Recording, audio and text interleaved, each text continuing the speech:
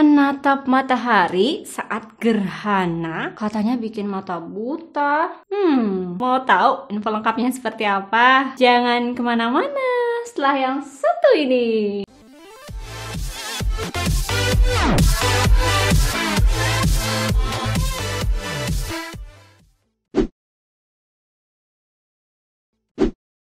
Ya ya ya, kembali lagi dengan Kak Yai.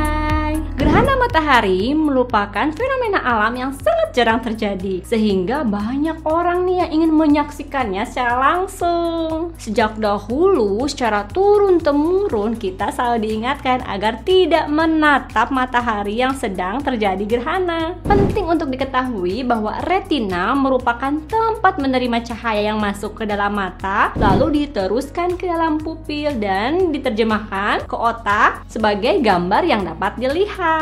Pupil itu dapat melebar dan menyempit tergantung jumlah cahaya yang masuk ke dalam mata. Jadi, apakah benar gerhana matahari dapat menyebabkan kebutaan? Jawabannya tergantung keparahannya.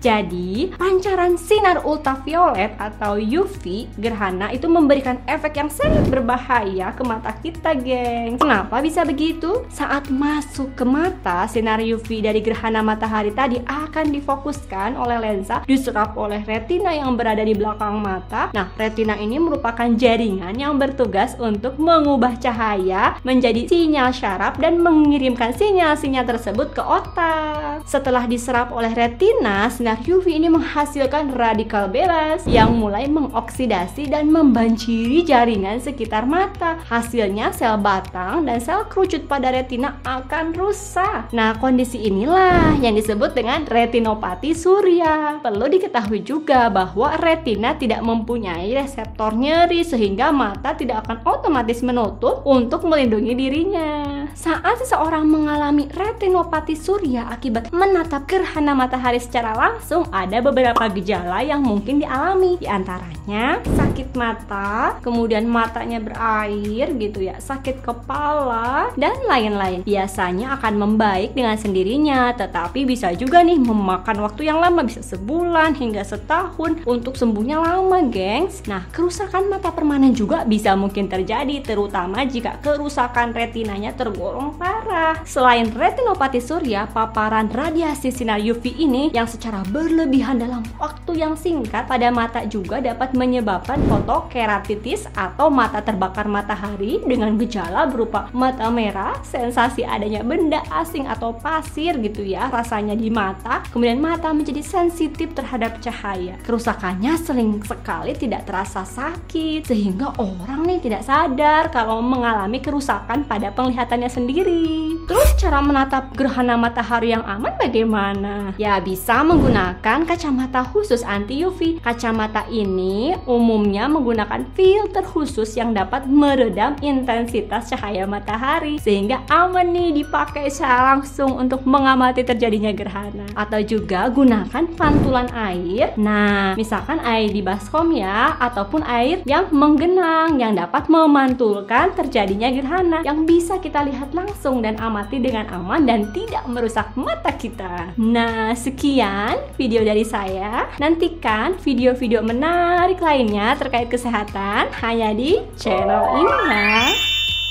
Semoga bermanfaat dan jangan lupa bahagia.